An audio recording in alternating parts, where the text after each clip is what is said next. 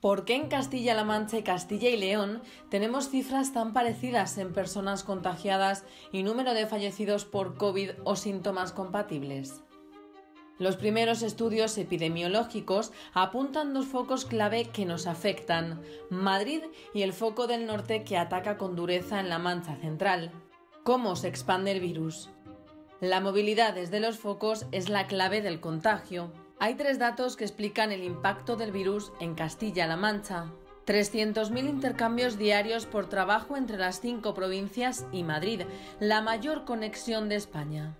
Decenas de miles de turistas de todo el mundo visitan tras su paso por Madrid nuestras localidades. Y 200.000 personas residen en Madrid pero tienen a sus familiares directos en Castilla-La Mancha.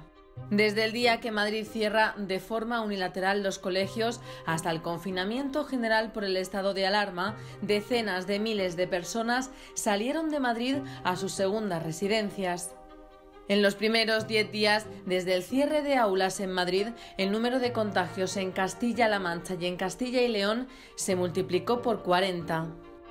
En marzo de 2019, Castilla-La Mancha expedía 15.000 recetas a ciudadanos de Madrid. Sin embargo, en marzo de este año se expidieron 160.000 recetas a personas de esta comunidad. Por otra parte, el foco del norte llega a nuestra región después de que una familia de La Mancha se desplazara a un funeral en Aro, en La Rioja, a finales de febrero. En los 12 días que transcurrieron hasta que se confirmaron los casos, los contagios se multiplicaron pudiendo llegar hasta 50.000 personas.